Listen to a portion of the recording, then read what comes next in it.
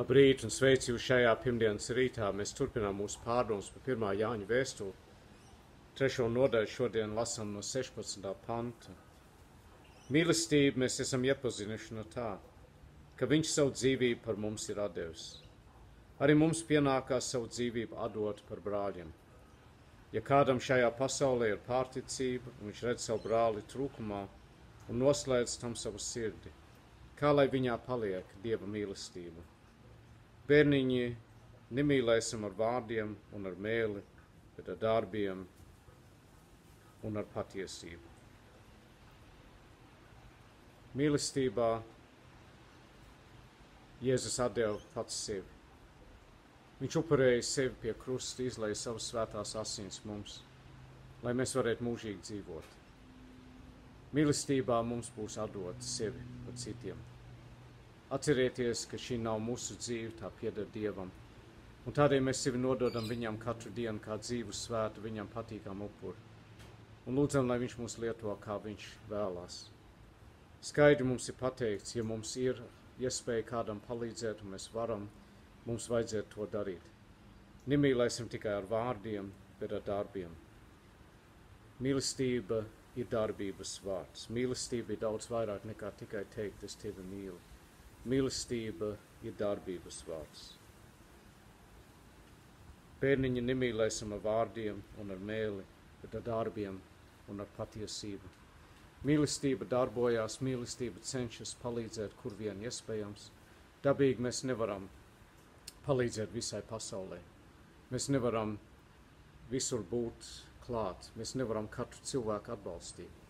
Bet mums vajag atcerēties, ka viss, kas mums ir, pieder Dievam, un lūgt, lai Viņš parāda mums, kā mēs varam būt labi saimnieki, kā lietot to, ko Viņš mums ir devis, lai mūsu sirds vienmēr ir jūtīga Viņam, mums būs staigāt garā. Kad mēs staigājam garā, tad Dievs dod mums to gudrību, un Viņš parāda mums, kad un kā un kur mēs varam cilvēkiem palīdzēt.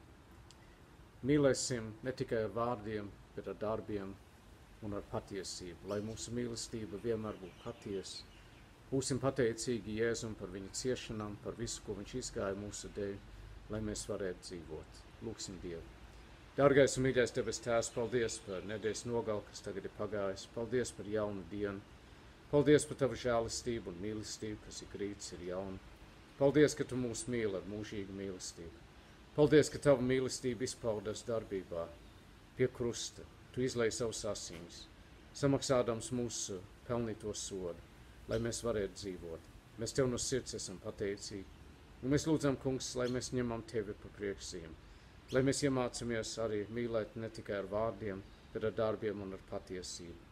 Mēs sevi nu jaunu nododam tavās rokās un lūdzam, kungs, lai tu mūs lieto pēc sava prāta. Mēs paceļam tavā priekšā, kungs, šo pasauli, kas ar vienu paliek tumšāk un tumšāk.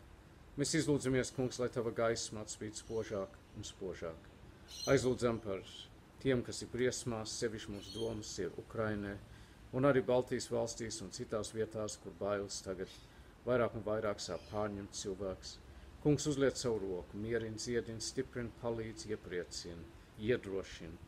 Mēs saprotam, ka viss mūsu laiks stāv tavās rokās, un kungs, ka nekas nenotiek bez tavas ziņas. Mēs nododam visu tev. Mēs aizlūdzam par mūsu valdību, mēs lūdzam par tiem, kas ir augstos amatos, lai tu dāvātu viņam gudrību darīt to, kas ir pareizi. Dod viņam, kungs, pareizi izšķirties, pareizi lemt par lietām. Mēs nododam visu tev. Mēs lūdzam, mīļais debes tēvs, par kādu, kas tev vēl nepazīst. Lai šī būtu tā diena, kad cilvēki iepazīstas ar tavu mīlestību, tavu žēlastību. Mēs, kungs, aizlūdzam par slimājiem, mēs aizlūdzam par tiem, kam ir bēdas, mēs aizlūdzam, kungs, par tiem, kas sēro, kam ir jāatvadās no mīļiem un dārgiem ģimenes locekļiem un draugiem. Dāvā savu mieru, kas ir augstāks par cilvēku saprašanu.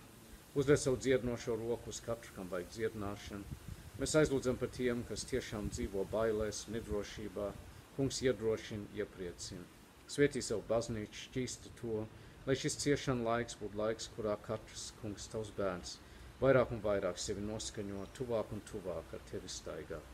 Tā mēs nododam visu tev un tagad kopā lūdzam mūsu Tēvs debesīs. Svētīts, lai top tavs vārds, lai nāk tava valstība, tavs prāts, lai notiek kā debesīs, tā arī virs zemes. Mūsu dienascho maizi dod mums šodien. Piedod mums mūsu parādus, kā arī mēs piedodam saviem parādniekiem. Neieved mūsu kārdināšanā, bet atpestī mūs no ļauna, jo Tev pieder valstība, spēks un gods mūžīgi mūžos. Āmen. Tā, mīļie draugi, lai svētīgi jums šī diena, Dievs ir jums, līdz atkal tiksimies, ar Dievu palīgas ceru, ka tas būs rītā.